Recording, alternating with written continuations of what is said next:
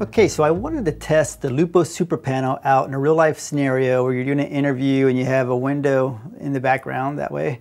Um, so what I did, I, so I have, I have the, the, the Lupo on 100, um, percent, but I have it through a 216 frame because I wanted to soften it up and make it less harsh.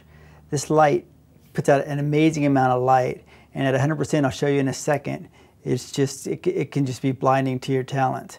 But uh, it's great to have that range, so if you need it, depending on, on where you're at, you have the punch, or if you don't want to go direct on your, on your um, talent, you want to bounce off the ceiling or something, you can go uh, that route too.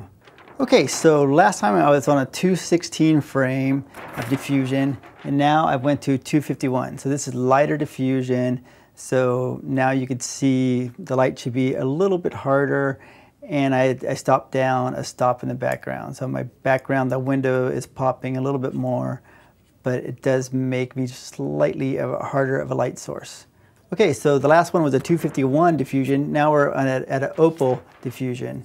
So I stopped down another half stop. So here is the Lupo Superlight through opal diffusion. So here's the Lupulite at 100%, nothing in front of it. So no diffusion in front of it, just coming straight on me. As you can tell, it's really hard.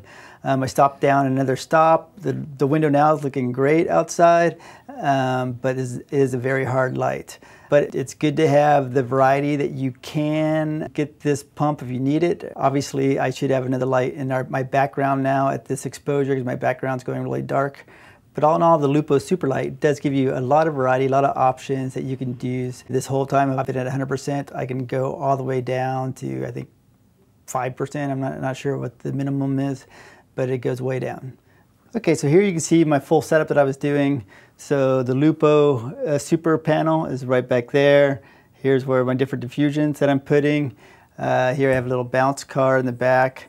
Um, and back there is actually another Lupo 1K Fresnel light that's giving me my, my uh, kind of kicker light.